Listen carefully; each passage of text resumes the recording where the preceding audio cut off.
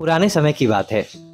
एक महिला जब भी अपने परिवार के लिए खाना बनाती तो एक बड़ी रोटी अलग से बना लेती और उसे अपने घर के बाहर वाले खिड़की पर रख देती ताकि कोई जरूरतमंद या भूखा व्यक्ति उसे खाकर अपने भूख शांत कर सके। एक बुरा फकीर रोज दोपहर को उस घर के बाहर से गुजरता और उस रोटी को खिड़की से उठा के और रोटी लेकर यह कहता हुआ आगे बढ़ जाता कि आप जो बुरा करते हैं वह आपके साथ रहता है। आप जो अच्छा करते हैं, वो आपके पास वापस आता है। यह सिलसिला काफ़ी लंबे समय तक चलता रहा। वह औरत रोज खिड़की पर रोटी रख देती और वह बुरा फकीर रोज आता, रोटी लेता और हर रोज वही एक शब्द कि आप जो बुरा करते हैं वह आपके साथ रहता है। आप जो अच्छा करते हैं वह आपके पास वापस आता है। दोहराता हुआ वहाँ से चला जाता है। उस फकीर के मुँह से।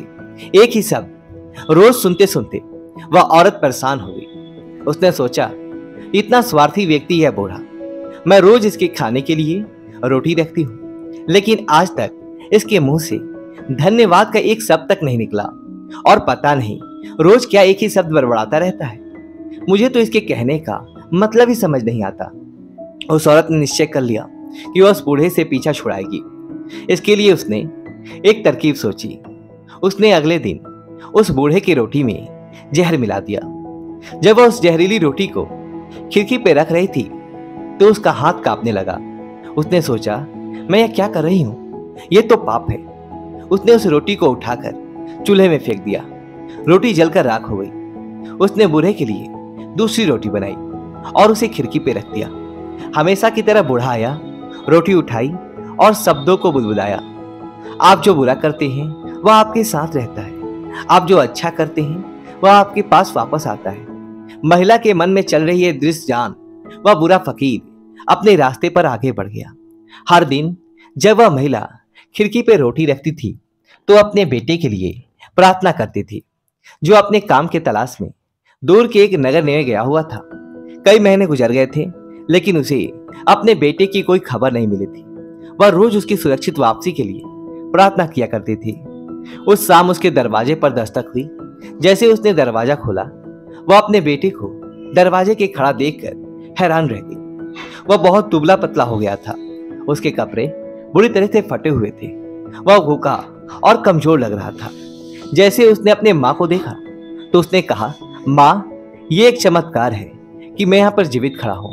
जब मैं सिर्फ़ एक मील दूर था तो भूख के मारे मैं इतना कमज़ोर और व्याकुल था कि मैं चक्कर खाकर गिर पड़ा।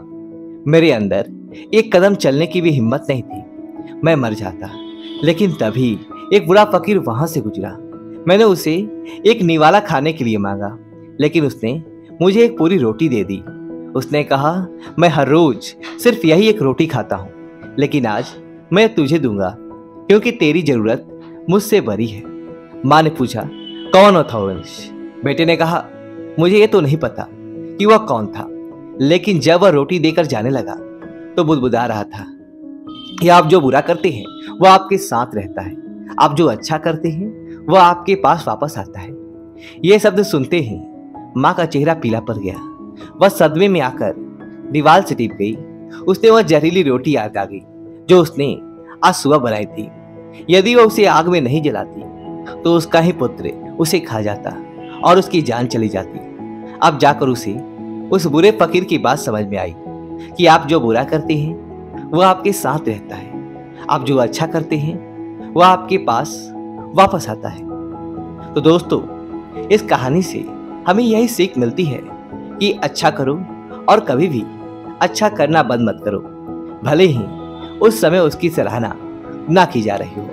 दोस्तों वीडियो से वीडियो को लाइक करें कमेंट बॉक्स में कमेंट करें और अपने दोस्तों के साथ इस वीडियो को ज़्यादा से ज़्यादा शेयर करें और हमारे चैनल को सब्सक्राइब करें। धन्यवाद दोस्तों।